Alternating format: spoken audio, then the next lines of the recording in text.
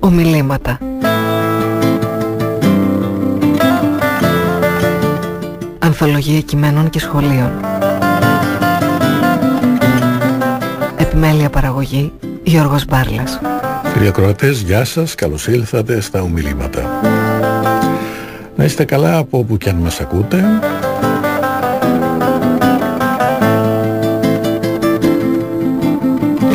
Ευχαριστούμε για τα τηλεφωνήματά σας και τα καλά σας λόγια καθώς και τις ευχές σας. Το ενδιαφέρον σας για τα βιβλία και ό,τι λέμε μας χαροποιεί πολύ αυτό. Γι' αυτό και το κάνουμε άλλωστε. Τα τηλέφωνά μας ε, στη διάθεσή σας και σήμερα 210 41 18 602 και 210 41 18 640. Τον ήχο φροντίζει ο Άγγελος Παπάς. Τα τηλέφωνα είναι η Φίβη Κωνσταντέλου. Για την Αγία Μαρία Σκοπτσόβα θα μιλήσουμε σήμερα, για τη ζωή της, από ένα πάρα πολύ ωραίο βιβλίο του πατρός Σεργέη Χάκελ, «Η Αγία Μαρία των Παρισίων», από τις εκδόσεις Ακρίτας. Ένα βιβλίο που ήταν εξαντλημένο για πολύ καιρό και που ευτυχώς επανεκδόθηκε στις μέρες μας.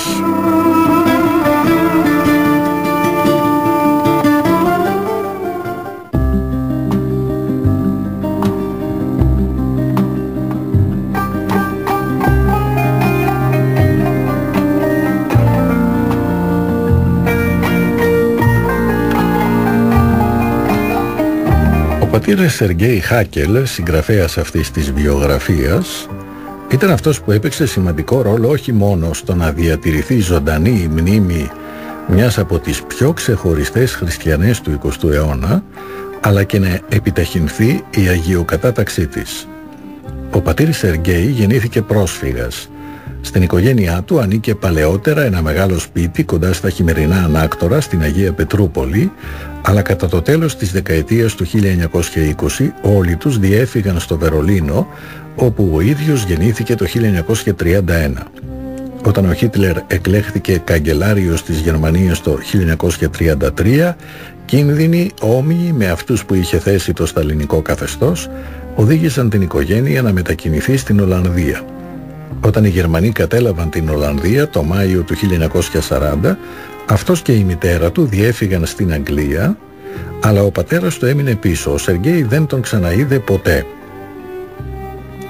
Ο πατήρ Σεργέη εκπαιδεύτηκε σε αγγλοκαθολικό περιβάλλον στην περιοχή της Οξφόρδης, αφού σπούδασε σύγχρονες γλώσσες στην Οξφόρδη, έγινε πνευματικό παιδί του Μητροπολίτη Αντωνίου Μπλουμ, ο οποίος τον χειροτώνησε ιερέα στην επισκοπή του Σουρόζ, που ανήκε στη Ρωσική Ορθόδοξη Εκκλησία της Διασποράς. Στο κοντινό πανεπιστήμιο του Σάσεξ, ο πατήρ Σεργέη δίδαξε ρωσικά για 25 χρόνια. Για 30 χρόνια ήταν ο εκδότης της εφημερίδας της Αγγλικανικής Ορθόδοξης Υποτροφίας των Αγίων Αλαβανού και Σεργίου Σόμπορνοστ.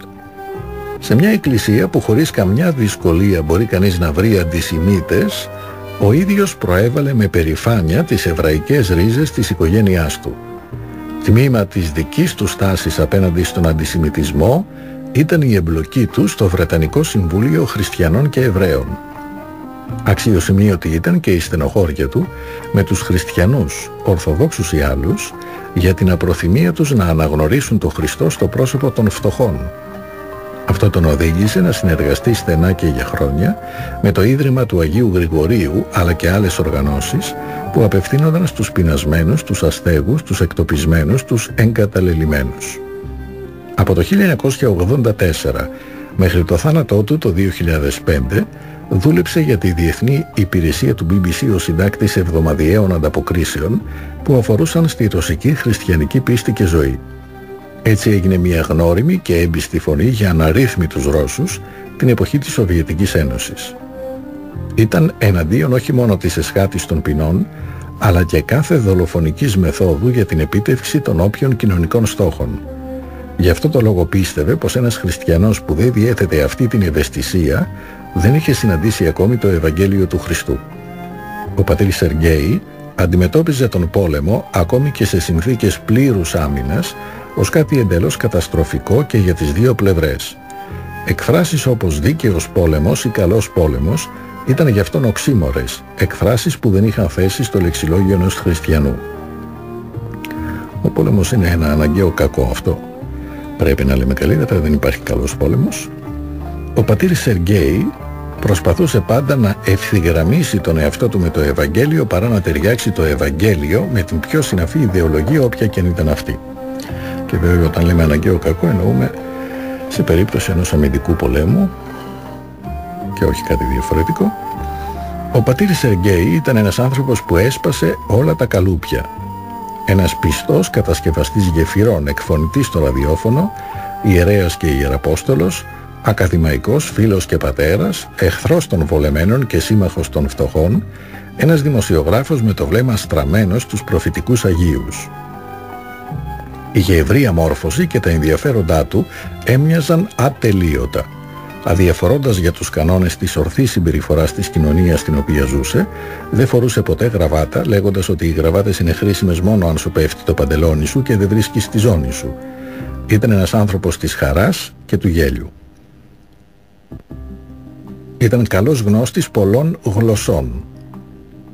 Συγγραφείς όπως ο Μπλοκ, η Αχμάτοβα, ο Ντοστογεύσκη και ο Καμί συγκαταλέγονται ανάμεσα σε αυτούς που εκτιμούσε πιο πολύ. Λάτρευε τη μουσική, του άρεσε ιδιαίτερα η jazz. Η μητέρα Μαρία έγινε ένα κεντρικό πρόσωπο στην πνευματική και ακαδημαϊκή ζωή του πατρός Σεργέη. Στο πρόσωπό της διέκρινε την ηρωική αν και ταπεινή χριστιανική απάντηση σε έναν κόσμο που απειλείται από ιδεολογικά και πολιτικά δεινά. Η παρούσα βιογραφία της στα αγγλικά από τον πατέρα Σεργέη παραμένει η πληρέστερη εισαγωγή στη ζωή της σε αυτή τη γλώσσα και τώρα σε ελληνική μετάφραση. Χρόνο με το χρόνο η μητέρα Μαρία γίνεται όλο και πιο γνωστή. Γεννημένη στη Ρωσία έφτασε στο Παρίσι ως πρόσφυγας το 1923. Νωρίτερα στη ζωή της είχε ασχοληθεί ενεργά με την αριστερά παρόλο που ποτέ δεν ήταν μαρξίστρια αλλά ένθερμη σοσιαλίστρια. Οι επαναστάτες Μπολσεβίκοι αλλά και οι αντιεπαναστάτες Λευκοί την αντιμετώπιζαν με εχθρότητα. Κατά τη διάρκεια του εμφυλίου παρατρίχα γλίτωσε την εκτέλεση αρχικά από τη μία και μετά από την άλλη παράταξη. Έτσι αποφάσισε ότι η μόνη διέξοδος που θα εξασφάλιζε την ασφάλεια για αυτήν και τα παιδιά της ήταν να αναζητήσει άσυλο στη Δύση όταν έφτασε στη Γαλλία ενεπλάκη στο ρωσικό χριστιανικό φοιτητικό κίνημα, μια ρωσική οργάνωση που βοηθούσε ανθρώπους οι οποίοι αντιμετώπιζαν απελπιστική φτώχεια. Αργότερα και αφού ένα από τα παιδιά της πέθανε από τη γρήπη, βίωσε μια μεγαλύτερη πνευματική εμβάθυνση. Η κόρη της υπέφερε. Η εμπειρία αυτή την οδήγησε στη συνειδητοποίηση μιας νέας, εξαιρετικής και ευρείας αίσθησης της μητρότητας που μπορούσε να αγκαλιάσει τους πάντες. Το ένιωθε σαν κάτι το απολύτως απαραίτητο να αναζητήσει μια και καθαρμένη και αυθεντική ζωή. Μπροστά της είδε ένα νέο δρόμο, ένα νέο νόημα στη ζωή της. Το να είναι μητέρα για όλους, για όλους όσους χρειάζονταν μητρική φροντίδα, βοήθεια και προστασία. Ήταν τυχερή. Είχε απέναντί της έναν επίσκοπο με κατανόηση. Αντιλαμβανόμενος την αποφασιστικότητά της, της πρότεινε να καρεί μοναχή και να αφιερώσει τη ζωή της στη διακονία των πολύ φτωχών. Αυτή η στάση έμελε να αποτελέσει μια νέα μορφή μοναστικής ζωής, όχι αυτή της απομόνωσης, αλλά της καταβήθησης στην έρημο των πόλεων. Ενδεδειμένη ως μοναχή, η μητέρα Μαρία άνοιξε ένα σπίτι φιλοξενίας των αστέγων, Εντός δύο ετών το μέγεθος της ανάγκης την όθησε να μετακινηθεί σε ένα νέο μεγαλύτερο κτίριο στο 15ο διαμέρισμα του Παρισιού στον αριθμό 77 της οδού Λουρμέλ. Εκεί μπορούσε να προσφέρει σύντηση σε 100 άτομα κάθε μέρα. Ο δρόμος για το Θεό περνάει μέσα από την αγάπη για τους ανθρώπους. Έγραψε σε ένα κείμενο στο οποίο συνοψίζεται η ουσία της θεολογίας της. Στην τελική κρίση δεν θα ερωτηθώ εάν εξετέλεσα με επιτυχία τις ασκητικές μου πρακτικές ή πόσες γονικλησίες έκανα. Αντίθετα θα ερωτηθώ αν έδωσα τροφή στους πεινασμένους, αν έμπισα τους γυμνούς, αν επισκέφθηκα τους ασθενείς και τους φυλακισμένους. Μόνο αυτό θα ερωτηθώ. Για κάθε φτωχό πεινασμένο και φυλακισμένο ο σωτήρας μας λέει εγώ. Εγώ πεινούσα και διψούσα. Εγώ ήμουν άρρωστος και στη φυλακή. Νομίζω ότι βάζει στην ίδια μοίρα τον εαυτό του και κάθε άνθρωπο που βρίσκεται σε ανάγκη. Πάντα το γνώριζα αυτό, Αλλά είναι μόνο τώρα που με κάποιο τρόπο η αντίληψη αυτή με διαπέρασε. Είναι κάτι που με πλημμυρίζει με δέος. Το όραμά της για τη χριστιανική κλίση διατυπώνεται με συντομία στην ακόλουθη φράση. Κάθε άνθρωπος είναι η ακριβής εικόνα του Θεού μέσα στον κόσμο. Στο πρόσωπο κάθε ανθρώπου πρέπει να λατρεύουμε τον ίδιο το Θεό. Όταν τον Ιούνιο του 1940 ξεκίνησε η γερμανική κατοχή της Γαλλίας, η μητέρα Μαρία δεν είχε ψευδεστήσεις ως προς το τι είχαν μπροστά τους. Δεν υπήρξε ποτέ ο άνθρωπος που θα απέφευγε να δει κατάματα τη σκληρή πραγματικότητα. Στο ναζιστικό κίνημα είδε ένα νέο παγανισμό, μια νέα ιδρολατρία δηλαδή, που στο διάβα του έφερνε καταστροφές, αναταραχές, διωγμούς και πολέμους.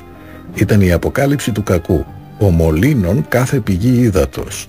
Όσο για τον ίδιο το Χίτλερ, αυτός ήταν, έλεγε, ένας τρελός που του ταιριάζει Ζουρλομανδίας. Θα έπρεπε να περιοριστεί σε ένα ηχομονωμένο δωμάτιο, ώστε τα ζωώδη ουρλιαχτά του να μην ενοχλούν όλο τον κόσμο. Σύντομα, αυτοί και οι συνεργάτες της ανακάλυψαν ότι το να προσφέρουν φιλοξενία μετατράπηκε στο να απελευθερώνουν Εβραίους. Πόσους έσωσαν μόνο ο Θεός γνωρίζει, αλλά ο αριθμός δεν ήταν μικρός.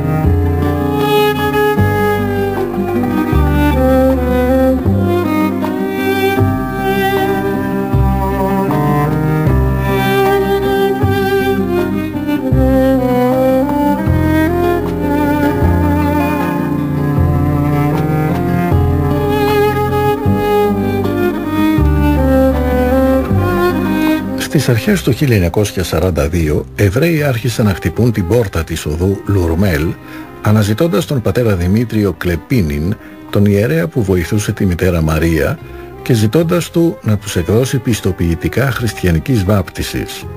Η απάντηση ήταν πάντα θετική. Τα ονόματα όλων αυτών των εντός εισαγωγικών βαπτισμένων καταγράφονταν και στο αρχείο της ενορίας του, στην περίπτωση που η Γκεστάπο θα έκανε έλεγχο.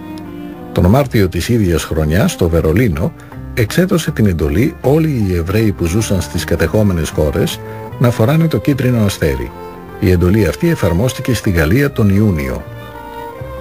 Υπήρχαν βεβαίως πολλοί χριστιανοί που είπαν ότι τέτοιοι αντισημιτικοί νόμοι δεν είχαν καμία σχέση με τους χριστιανούς και ως εκ τούτου αυτό δεν ήταν ένα πρόβλημα που τους αφορούσε δεν τίθεται μόνο ένα εβραϊκό αλλά και ένα χριστιανικό ζήτημα ήταν η απάντηση της μητέρας Μαρίας.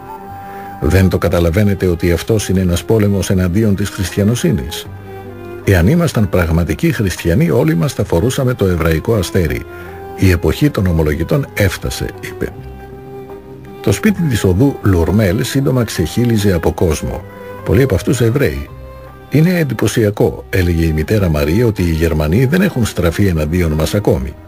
Την ίδια περίοδο έλεγε, εάν κάποιος ερχόταν αναζητώντας Εβραίους, θα του έδειχνε την εικόνα της μητέρας του Θεού. Μιας Εβραίας δηλαδή. Τον Ιούλιο ήρθε η μαζική σύλληψη 12.884 Εβραίων. Οι περισσότεροι μεταφέρθηκαν στο αθλητικό γήπεδο που βρισκόταν όχι μακριά από την οδό Λουρμέλ. Η μητέρα Μαρία συχνά αντιλαμβανόταν τη μοναστική της ενδυμασία ως μια θεόσταλτη βοήθεια στην εργασία της. Τώρα ήταν αυτή η μοναστική της εμφάνιση που της έδωσε τον τρόπο να μπει μέσα σε αυτό το γήπεδο.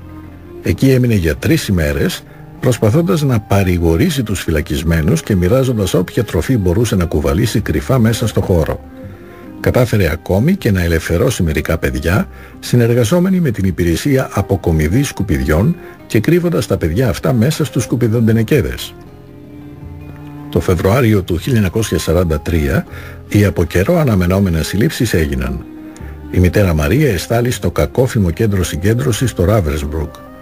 Ο γιος της Γιούρη και ο πατήρ Δημήτριος Κλεπίνιν εστάλησαν σε ένα στρατόπεδο συγκέντρωσης που ονομαζόταν Ντόρα, όπου και πέθαναν το 1944. Το Μάρτιο του 1945, μετά από δύο χρόνια αιχμαλωσίας, η μητέρα Μαρία άφησε την τελευταία της πνοή σε ένα θάλαμο αερίων. Η ημέρα που πέθανε ήταν Μεγάλη Παρασκευή. Οι βομβαρδισμοί του κόκκινου στρατού που πλησίαζε ακούγονταν από μακριά. Αμφιλεγόμενη όσο ήταν εν ζωή, η μητέρα Μαρία παραμένει πρόσωπο αμφισβήτησης ακόμη και σήμερα, κάτι που ίσως εξηγεί το πόσο καθυστέρησε η Ορθόδοξη Εκκλησία να την αναγνωρίσει ως Αγία. Παρόλο που έζησε μια ζωή με ηρωισμό και αρετή και συγκαταλέγεται ανάμεσα στους μάρτυρες του 20ου αιώνα, οι φραστικές της επιθέσεις απέναντι στις εθνικιστικές και παραδοσιόπληκτες μορφές της χριστιανικής ζωής ακόμη ανεβάζουν την πίεση των πιο αυστηρών Ορθοδόξων. Ο πατήρης Σεργέη, στο πρόσωπό της, αναγνώρισε ένα από τα πιο σημαντικά παραδείγματα αγιότητας, όχι μόνο για τους Ορθοδόξους χριστιανούς αλλά και για όλη τη χριστιανοσύνη.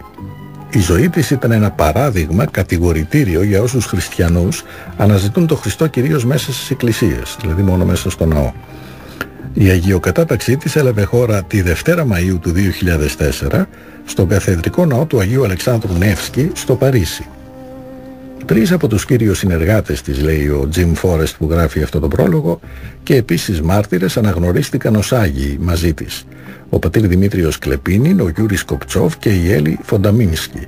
Στην ακολουθία της αγιοκατάταξης συμμετείχαν αρκετοί επίσκοποι και ιερείς, αλλά ο πατήρ Σεργέη ήταν αυτός που είχε την πιο εντυπωσιακή εμφάνιση. Ανάμεσα σε όλα τα λαμπερά άμφια, αυτός φορούσε ένα χειροποίητο και ντυτό ένδυμα από τραχή ύφασμα, στην ακολουθία αυτή ήμασταν με την Άνση. Όταν τον συναντήσαμε έξω από την εκκλησία, μας είπε ότι αυτό που φορούσε ήταν ένα ένδυμα που η ίδια η μητέρα Μαρία είχε υφάνει για τον πατέρα Δημήτριο Κλεπίνιν. Τον ρώτησα αν θα μπορούσα να το φωτογραφίσω, ένα ενθύμιο της μητέρας Μαρίας και του πατρός Δημητρίου και δέχτηκε με χαρά.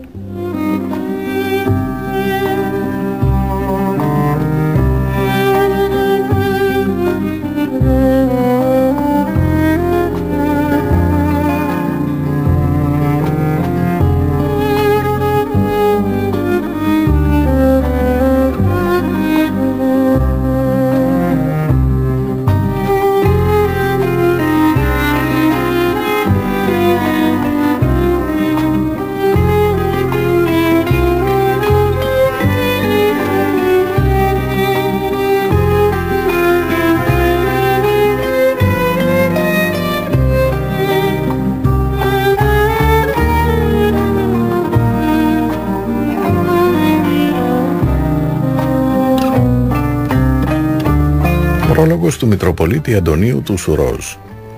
Η μητέρα Μαρία αποτελεί αναπόσπαστο μέρος της ρωσικής διασποράς, της γαλλικής αντίστασης και του στρατοπέδου συγκέντρωσης του Ράβενσμπρουκ. Ωστόσο, το επίτευγμά της είναι πολύ πιο σημαντικό από τις περιστάσεις της ζωής της και τις υπερβαίνει κατά πολύ. Γιατί πάνω απ' όλα με τη χριστιανική της αφιέρωση και με το δικό της μοναδικό τρόπο η μητέρα Μαρία έδειξε τι σημαίνει να είσαι άνθρωπος. Στην πορεία θυσίασε την προσωπική της ηρεμία, καθώς η ζωή της ήταν απόλυτα συνυφασμένη με τη μοίρα των συγχρόνων της. Η αναστάτωση και η τραγωδία τους ήταν και δική της. Κι όμως δεν παρασύρθηκε από τις καταστάσεις αυτές. Αγκυρά της ήταν ο Θεός και τα πόδια της ήταν ριζωμένα πάνω στο βράχο. Είχε άπειρη συμπόνια. Δεν υπήρχε λύπη που να της είναι άγνωστη, ούτε δυσκολία που να την κάνει να αποστρέψει το πρόσωπό της δεν άντεχε την υποκρισία, τη σκληρότητα και την αδικία. Το πνεύμα της αληθείας που κατοικούσε μέσα της την έκανε να ασκεί σκληρή κριτική σε ό,τι θεωρούσε κακό κείμενο, ό,τι ήταν νεκρό στο χριστιανισμό και ιδιαίτερα σε αυτό που λανθασμένα θεωρούσε κλασικό μοναχισμό. Λανθασμένα γιατί στην πραγματικότητα αυτό που κατηγορούσε δεν ήταν παρά ένα κενό κέλυφος, μια απονεκρωμένη μορφή. Ταυτόχρονα με μια προφητική αντίληψη είδε το υπέροχο κρυμμένο περιεχόμενο της μοναχικής ζωής στην εφαρμογή του Ευαγγελίου, στην πραγμάτωση του Θείου Έρωτα, ενός έρωτα που μπορούσε να υφίσταται και να είναι δημιουργικός μέσα και διαμέσου των ανθρώπων που είχαν παρετηθεί απ' όλα και πάνω απ' όλα από τον ίδιο τον εαυτό τους προκειμένου να ζήσουν μια ένθεη ζωή και να γίνουν η παρουσία του Θεού, η συμπόνια και η αγάπη του ανάμεσα στους ανθρώπους. Ο Θεός τόσο αγάπησε τον κόσμο που έδωσε το μονογενή του Υιό έτσι που όποιος πιστέψει σε αυτό να μην χαθεί αλλά να έχει ζωή αιώνια. Αυτό κατάλαβε, γι' αυτό έζησε και γι' αυτό τελικά πέθανε. Η μητέρα Μαρία είναι μια αγία της εποχής μας και για την εποχή μας φίλοι ακρότες. Μια γυναίκα με σάρκα και αίμα, κατακλυσμένη από την αγάπη του Θεού που στάθηκε άφοβο και αντιμετώπισε τα προβλήματα του αιώνα μας. Εύχομαι, λέει ο πατήρ Αντώνιος Μπλουμ, το εντυπωσιακό αυτό βιβλίο να ενθαρρύνει τους αναγνώστες να μιμηθούν τη μητέρα Μαρία στη σκληρή κριτική κάθε υποκρισίας και να ακολουθήσουν το δικό της δρόμο με το ίδιο κουράγιο. Μακάρι να βρουν την έμπνευση να ζήσουν όπως έζησε εκείνη και να αποδεχτούν το θάνατο όπως και εκείνη. Δύσκολα πράγματα αλλά πολύ ενδιαφέροντα. Ενδιαφέροντα γιατί αυτή πρέπει να είναι η ζωή του χριστιανού, δύσκολοι φίλοι ακρότες, αλλά ανοιχτή οπωσδήποτε στην αγάπη και στο σταυρό που προϋποθέτει η αγάπη.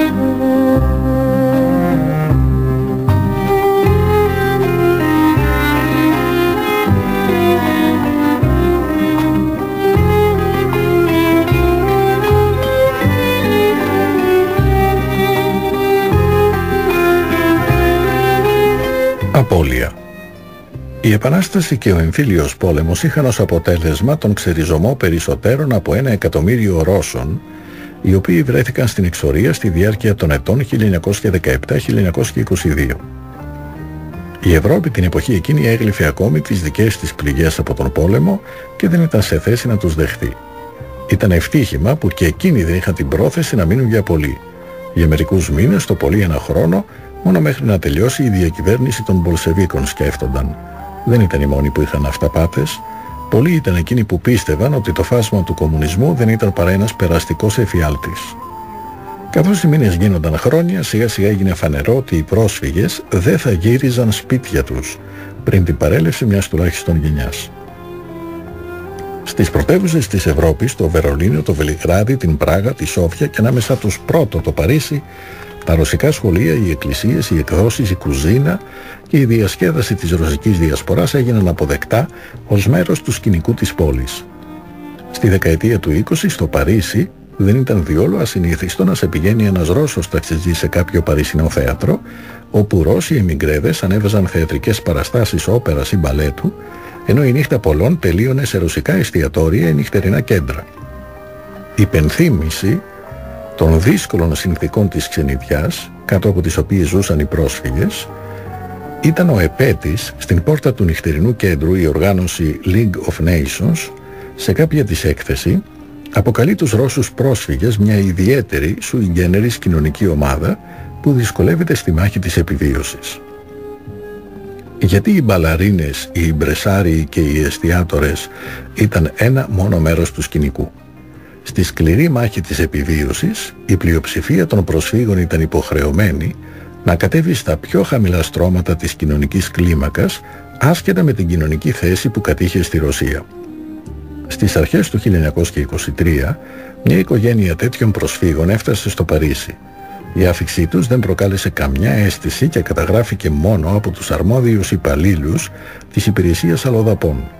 Η οικογένεια ήταν εξαμελής. Η Ελισαβέτα, οι δικοί της τη φώναζαν Λίζα, Σκοπτσόβα, η μητέρα της Σοφία Πιλένκο, ο δεύτερος σύζυγός της Ντανιήλ Σκοπτσόβ, ο γιος της Γιούρα και οι δύο της κόρες. Η Γκαϊάννα, το μεγαλύτερο από τα παιδιά, γεννήθηκε στη Ρωσία όταν ο πρώτος γάμος της Λίζας είχε περάσει το στάδιο της αποξένωσης και όδευε προς τη διάλυση. Η μικρότερη γυνάστηκε γεννήθηκε στο νεοσύστατο βασίλειο των Σέρβων, Κροατών και Σλοβαίνων τις παραμονές της μετακίνησης της οικογένειας στη Γαλλία. Ακολούθησαν το δρόμο πολλών άλλων. Από τις ανατολικές ακτές της Μαύρης Θάλασσας ταξίδεψαν προς τον νότο στην τότε ανεξάρτητη μενσεβική δημοκρατία της Γεωργίας. Από εκεί στην Κωνσταντινούπολη και ύστερα στο Βελιγράδι. Το ταξίδι ήταν άλλοτε ήρεμο και ακίνδυνο και άλλοτε γεμάτο κινδύνους και εξαθλιωτικό. Όλη η διαδρομή ήταν δύσκολη, χωρίς καμιά άνεση, μια διαδρομή που σίγουρα δεν την είχαν θελήσει και που τους οδηγούσε μακριά από το σπίτι τους προς άγνωστη κατεύθυνση. Το πρώτο μέρος του ταξιδιού ήταν το δυσκολότερο. Καθώς ο εμφύλιος πόλεμος στην κουμπανική περιοχή τελείωνε το Μάρτιο του 1920, μια μαζική εκένωση έμελε να συμβεί στο Νοβοροσίισκ. Το ατμόπλιο στο οποίο η Λίζα Σκοπτσόβα είχε καταφέρει να βρει μια θέση ήταν ένα από τα τελευταία που έφευγαν. Αναπόφευκτα το πλοίο ήταν ασφικτικά γεμάτο. Ωστόσο λόγοι εμπορικότητας υπαγόρευαν την κατανομή των επιβατών. Οι επιβάτες της πρώτης και δεύτερης θέσης συνοστίζονταν στα δύο επάνω καταστρώματα. Κάτω από αυτούς βρισκόταν ένα στρώμα Αρμενίων προσφύγων. Από κάτω το κατάστρωμα για τα πρόβατα. Οι λιγότερο προνομιούχοι επιβάτες ήταν αποκλεισμένοι στο αμπάρι. Εκεί ήταν απόλυτο σκοτάδι, αλλά δεν επιτρεπόταν να ανάψει κανείς φως, καθώς υπήρχε ο κίνδυνος του Λευκού Στρατού, ο οποίος αποχωρώντας είχε μαζί του ένα φορτίο εκρηκτικών, με την ελπίδα ότι ο πόλεμος ίσως και να μην είχε τελειώσει ακόμη.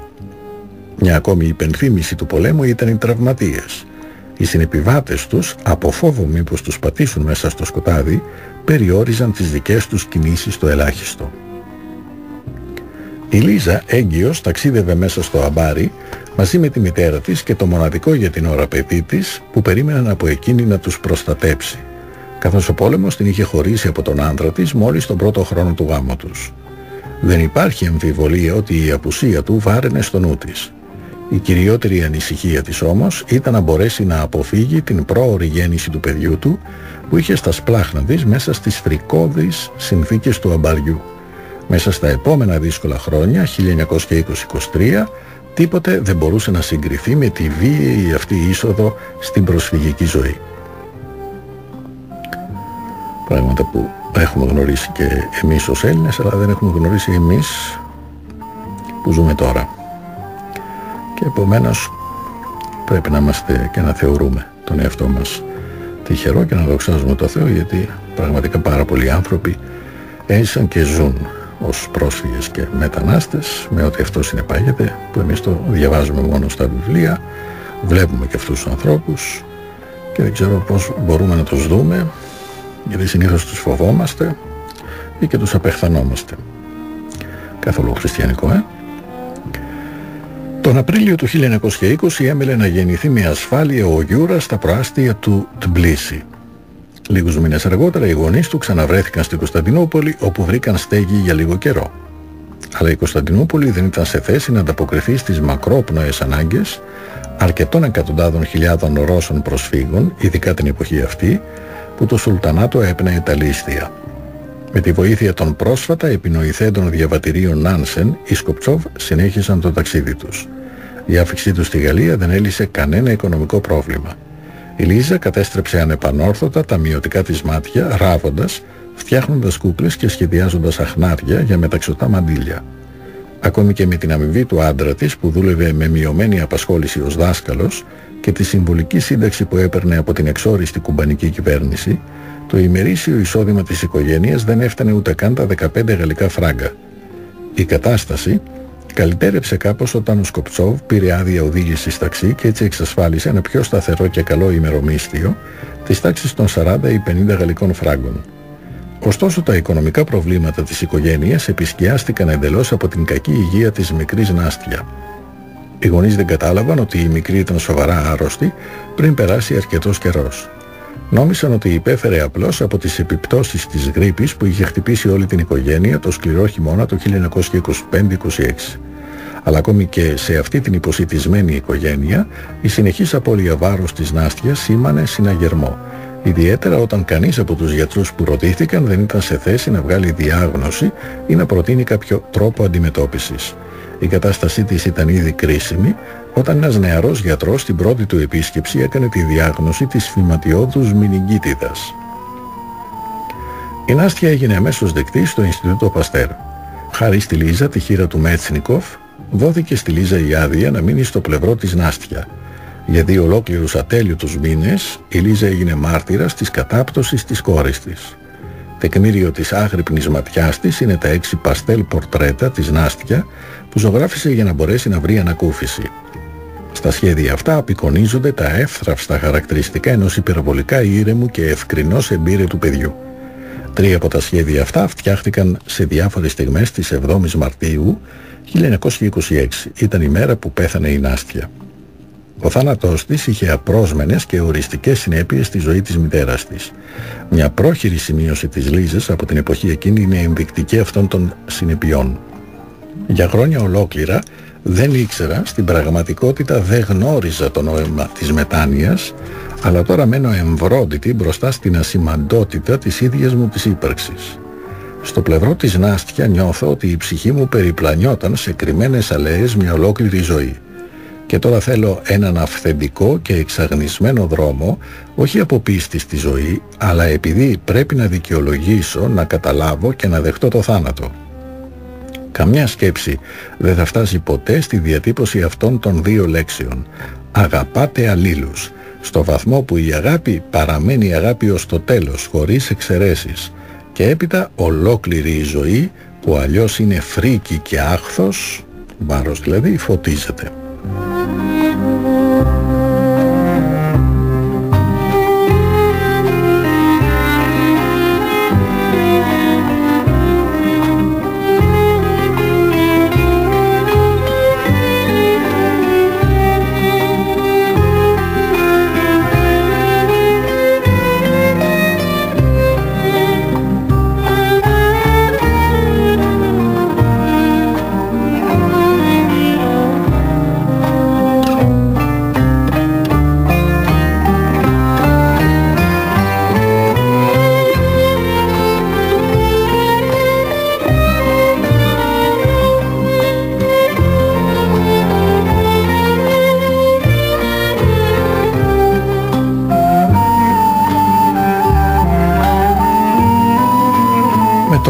Αυτό καταδίκασε τις περιπλανήσεις του παρελθόντος και άνοιξε το δρόμο προς ένα πιο αυθεντικό μέλλον.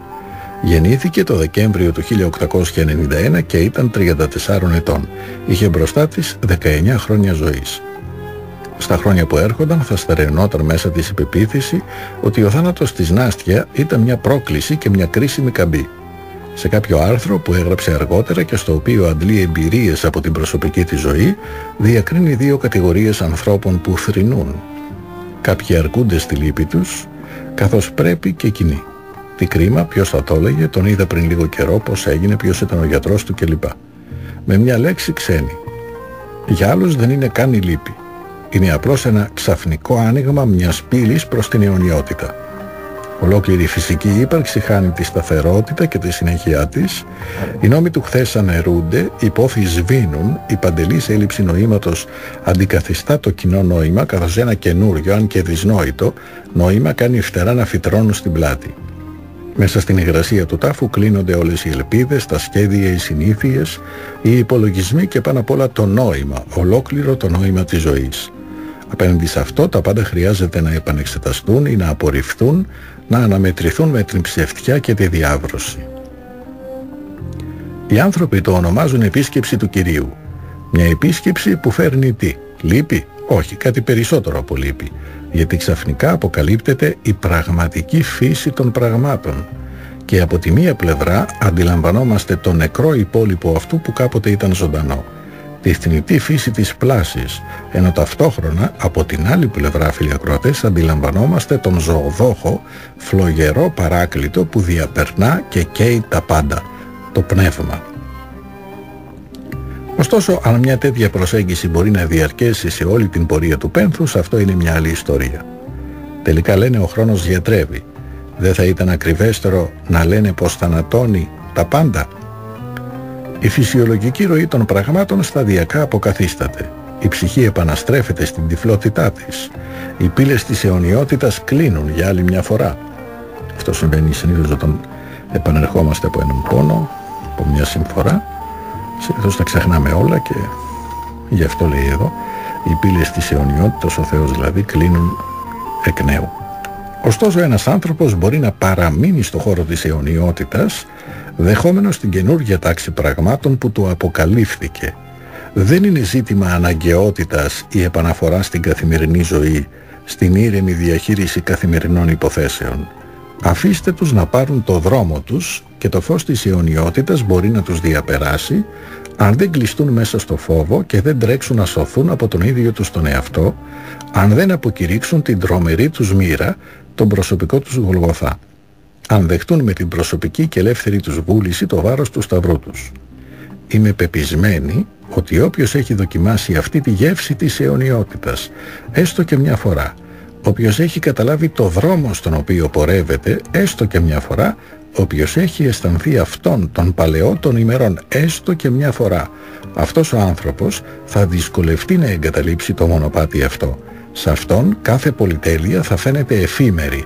Όλοι οι θησαυροί θα μοιάζουν χωρίς καμιά αξία και όλοι οι σύντροφοι επιπόλαιοι αν ανάμεσά τους δεν μπορεί να διακρίνει τον μοναδικό του σύντροφο που κουβαλάει το σταυρό του, το Χριστό δηλαδή.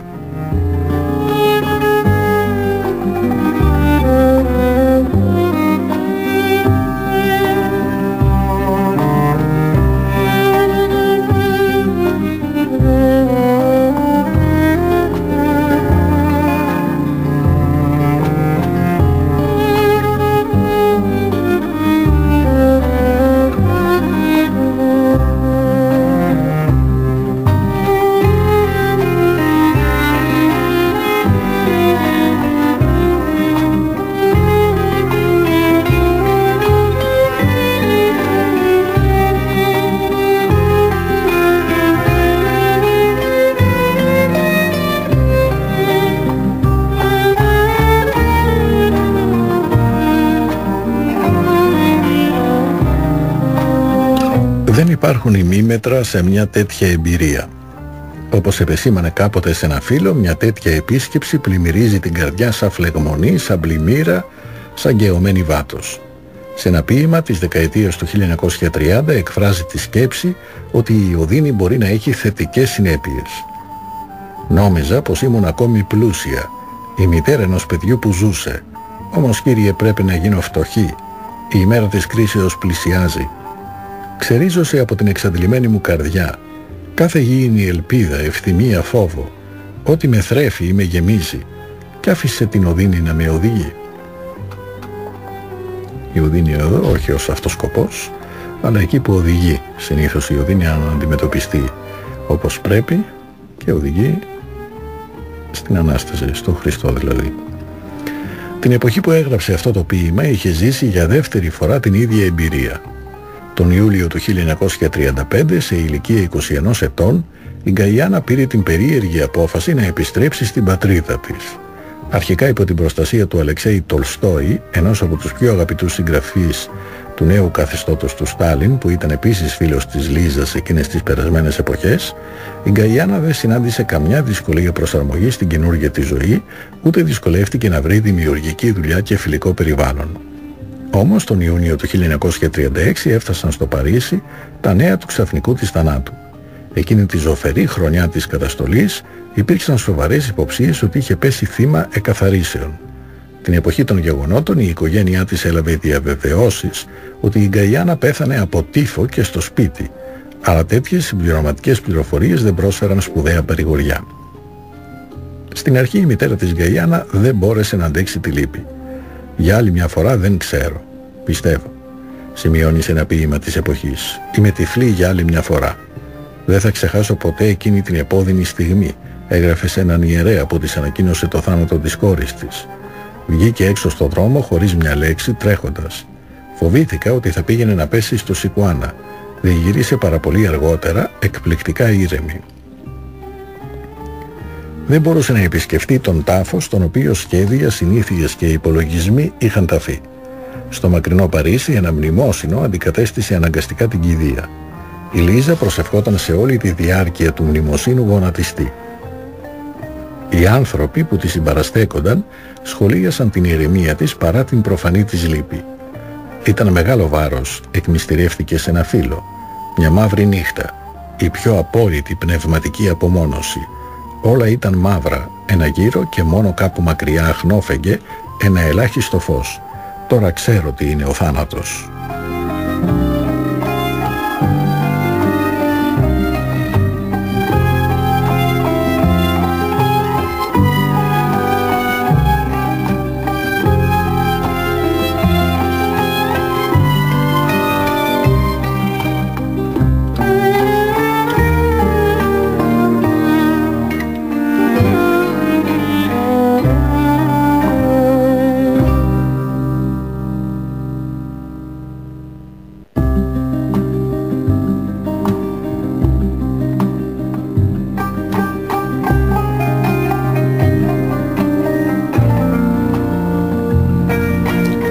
Μέρος της εμπειρίας της διοχετεύτηκε στην ποίησή της. Δεν προκάλεσε έκπληξη το ότι στην ποιητική συλλογή που δημοσίευσε μετά το θάνατο της Γκαϊάννα υπήρχε ένα ολόκληρο μέρος αφιερωμένο στο θάνατο. Ήταν εκεί που συμπεριέλαβε τα ποίηματα που είχαν γραφτεί για την ίδια την Γκαϊάννα. Στην καθημερινή της ζωή φανέρωνε ελάχιστα το υπόβαθρο αυτών των ποιημάτων. Όχι πως ήταν ολιγόλογοι και επιφυλακτικοί. Αντίθετα ήταν φιλική με τους περισσότερους ανθρώπους, έτοιμη να ανοίξει συζήτηση με ένα χαμόγελο κάπως πονηρό στα χείλη της. Ήταν ψηλή, όμορφη, δυνατή και γεμάτη ενεργητικότητα. Έδινε την εντύπωση μιας έντιμης, εξωστρεφούς, γενναιόδορης και βατής προσωπικότητας.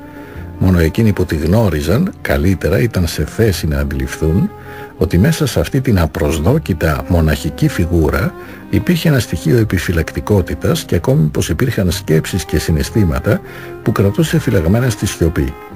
Από τα συναισθήματα αυτά τα πιο ζωτικά και αυτά για τα οποία μιλούσε λιγότερο από ό,τι για όλα τα άλλα ήταν όσα αφορούσαν στην Καϊάννα και την ετεροθαλή της αδελφή την Άστια που ολόκληρο το όνομά της Αναστασία παρέπεμπε στην Ανάσταση.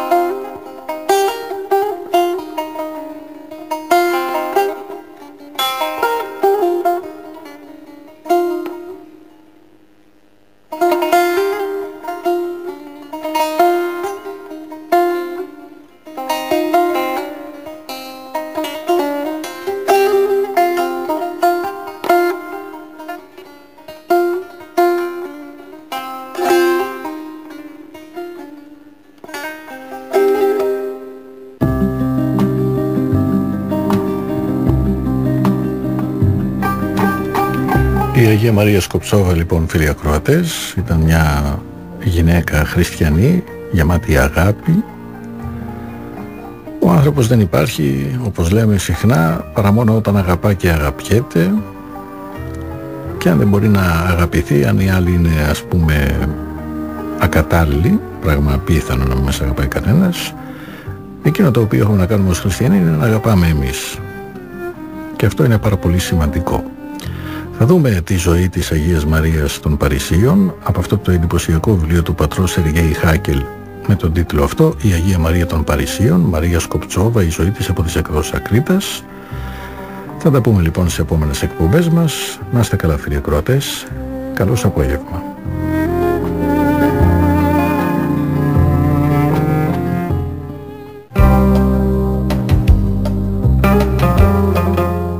Ομιλήματα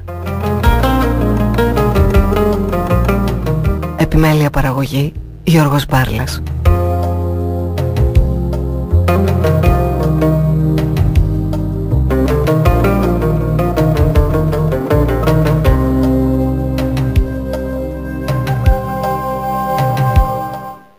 Η εκπομπή που προηγήθηκε μεταδόθηκε με την ευγενική χορηγία των εκδόσεων Γρηγόρη.